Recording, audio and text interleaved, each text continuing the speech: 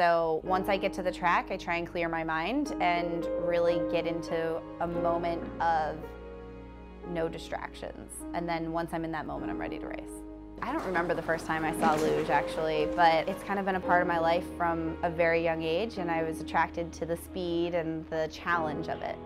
It's been a very long journey. I knew I wanted to be an Olympian when I was seven, and then I started doing luge when I was 10, and I started traveling for luge when I was 14. So I'm 14 years into luge right now, and it's it's been a lot. There's been a lot of highs, a lot of lows, and this would definitely of raise that bar for another high. So I'm hoping to be able to do that.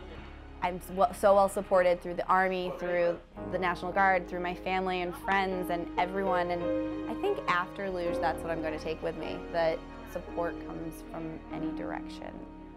Everyone's there, everyone's cheering for you, and it'll all be okay.